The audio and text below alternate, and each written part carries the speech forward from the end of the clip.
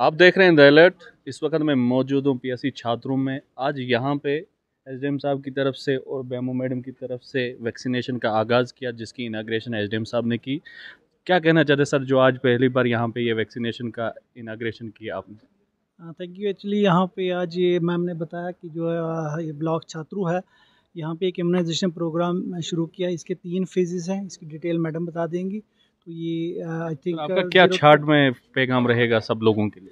मेरा ये पैगाम रहेगा जो भी प्रोग्राम है कि जितने भी लेफ़्ट ओवर बच्चे हैं और जो प्रेग्नेंट लेडीज़ हैं वो यहाँ पे इनके पास जो आशा वर्कर हैं जो इनका कॉन्टैक्ट पर्सन है उनको कॉन्टैक्ट करके वो अपनी इम्यूनाइजेशन कराएँ। ये हमारा प्रोग्राम थैंक यू जी मैम मैम आप यहाँ पे है आप मुझे व्यूवर्स के लिए हमारे जो भी यहाँ पे हैं उनके लिए कि जो वैक्सीनेशन है इसका क्या प्रोसेस है ये कितना बेनिफिट है कि क्या क्या है? देखिए ये I M I five point zero it is an intensified mission Indradhanush. ये आ, उन बच्चों के लिए है जो पार्शली इम्यूनाइज्ड ड्रॉप आउट्स या लेफ़्ट आउट जो भी बच्चे अपनी वैक्सीनेशन पूरी नहीं ले रहे हैं जिनको बीच में कोई डोज छूट गया हो तो ये हमने पहले आशा से बोल के लाइन लिस्टिंग करवाई है ऐसी सारी बच्चों की ज़ीरो टू फाइव ईयर्स और प्रेग्नेंट लेडीज़ की। अब हमारा ये फ़ेज़ तीन फेजेज़ में चलेगा। एक है जो अभी सेवन टू ट्वेल्थ है इन अगस्त जो आज से स्टार्ट हो गया, जिसकी इनाग्रेशन हमने एसडीएम सर से भी करवाई है। इसमें हम उन सारे बच्चों को आशाज कांटेक्ट करेंगे। हमारे इसमें सेशंस लगेंगे अलग अलग जहाँ पे भी ये बच्चे रह चुके हैं। हमारी पूरी कोशिश रहेगी कि उन्हें फुली ऑर्गनाइज हम करें, बच्चे भी और प्रेग्नेंट लेडीज़ भी। क्योंकि ये vaccine is all about fighting against the disease like आप बच्चे को इम्यून कर बना रहे हैं कि वो उसकी इम्यून सिस्टम थोड़ा स्ट्रांग हो जाता है। तो अब हमारी कोशिश यही है कि हर एक बच्चा फुली वैक्सीनेट हो। आपको भी आगे चाहिए कि आप भी लोगों में आगे ये फैलाएँ कि जो भी जिसका भी बच्चा रह गया है वैक्सीन नहीं लगवाते हैं। कुछ लोग तो स्टबन होते ही नहीं लगवाते हैं। तो वो इससे कोई जैसे कोरोना में लोग बहुत डरे हुए हैं कि ये वैक्सीन ऐसी हो। क्योंकि इस डर से कुछ लोग जो आते ही नहीं है। यानी वो उनके घर पे भी आशा जाती है क्योंकि हम ग्राउंड में रहते हैं। तो ये पैगाम आप साफ़ करें कि ये क्या है इसके बेनिफिट क्या है उन लोगों के लिए? ये कोई स्पेसिफिक वैक्सीन थोड़ा है जो जैसे कोविड में आई थी कोविड की वैक्सीन वो खाली कोविड के लिए था तो लोग डरे हुए थे। ये एक इम्यूनाइजेशन शेड्यूल है जो हम भी फॉलो कर रहे हैं अपने बच्चों के लिए। मेरे ख्याल से जब हम बच्चे थे तो हमने भी सबने ये वैक्सीनेशन लगवाई हैं।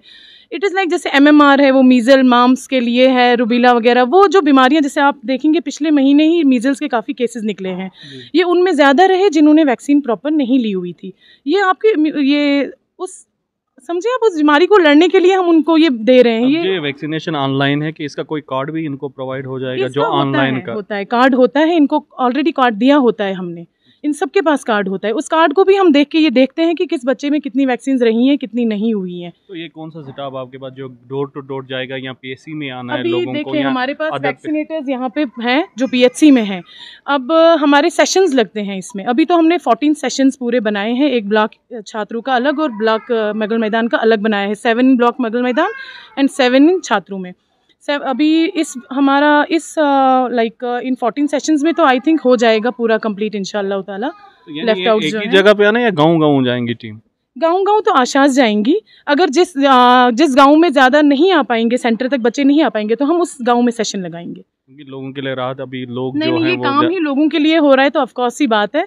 हमारा टारगेट ही है कि सबको वैक्सीनेट करना है। प्रेग्नेंट लेडीज़ हो ज़ीरो टू फाइव ईयर्स जो भी बच्चे हैं तो उसके लिए हमें उनको डोर टू डोर भी जाना पड़े हम जाएँगे। लास्ट क्या पैगाम रहेगा विवर्स के लिए कि जो हेल्थ के साथ सब चीज़ रिलेटेड है हेल्थ क्योंकि आपके ऊपर सवाल या निशान भी खड़े होते हैं तो क्या पैगाम रहेगा? पैगाम तो यही है कि देखें, हम अपने से पूरा ट्राई कर रहे हैं, सारा अभी इस वक्त भी सारा स्टाफ प्रेजेंट है, हम आशाज हमारी डोर टू डोर डेली जाती हैं डेली जाती हैं। कोई भी सर्वे हो, सब हम लोगों को बहुत कोशिश करते हैं अवेयर करने की अबाउट आवर हेल्थ फैसिलिटीज़ हमारे वैक्सीनेशन का अलग हो प्रेग्नेंट लेडीज़ को जिस तरह यहाँ आएँ डिलीवरीज़ करवाएँ इंस्टीट्यूशनल डिलीवरीज़ करवाएँ, हमसे तो जितना हो रहा है हम कर रहे हैं। थैंक यू बातचीत करना हमारे साथ पी एस सी चालू के बेमो साइमा बात कर रही थी, जिन्होंने पूरा ब्रीफ कहा कि जो वैक्सीनेशन कितना बेनिफिट है, इसके क्या नुकसान नहीं है, इसके हर किसी को जो है फ़ायदा है। तो हम भी लोगों से रिक्वेस्ट करते हैं कि वो जहाँ पे इनका सेंटर होगा, आशा के ज़रिए उनको कंफर्म किया जाएगा तो वो वहाँ पे आके अपना टीका लगाए। मज़ीद अपडेट के लिए देखते रहे डायलॉग